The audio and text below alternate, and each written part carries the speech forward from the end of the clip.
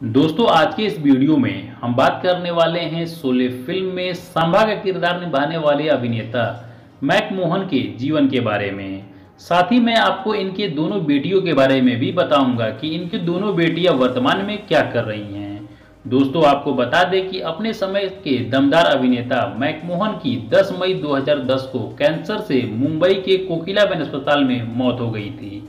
तो आइए जानते हैं इनकी और इनके दोनों बेटियों के जीवन के बारे में विस्तार से और वीडियो शुरू करते हैं। लेकिन वीडियो शुरू करने से पहले हमारी आपसे रिक्वेस्ट है, यदि आप हमारे इस चैनल पर नए आए हैं तो चैनल को सब्सक्राइब करके बेल आइकन को प्रेस कर लीजिएगा, क्योंकि मैं इसी तरह की वीडियो अपने इस चैनल पर लाता रहता हूँ।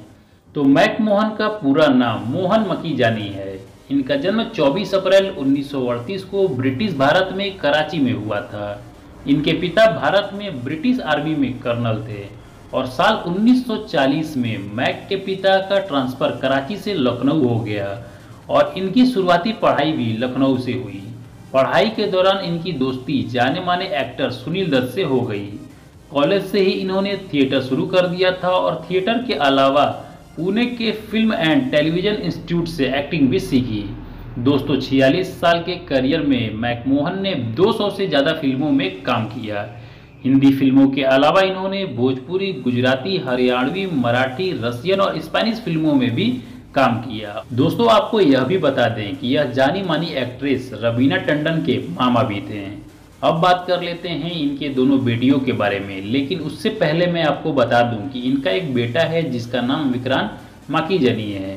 और इनकी बड़ी बेटी का नाम मंजरी माँ की जनी है और छोटी बेटी का नाम विंती माँ की जनी है। इनकी बड़ी बेटी मंजरी एक फ़िल्म निर्माता हैं और इन्हें शॉर्ट फिल्म्स के लिए जाना जाता है। साल 2012 में द लास्ट मार्बल और साल 2014 में द कॉर्नर टेबल में इनके काम को लोगों ने बहुत पसंद किया। इसके अलावा यह बॉलीवुड फ़िल्म सात खून माफ़ और वेकअप सीट जैसी फ़िल्मों में काम कर चुकी हैं। दोस्तों, मैकमोहन की बड़ी बेटी मंजरी ने अमेरिका के एम्यूनल पेपर से शादी की है और यह अमेरिका में रहती हैं।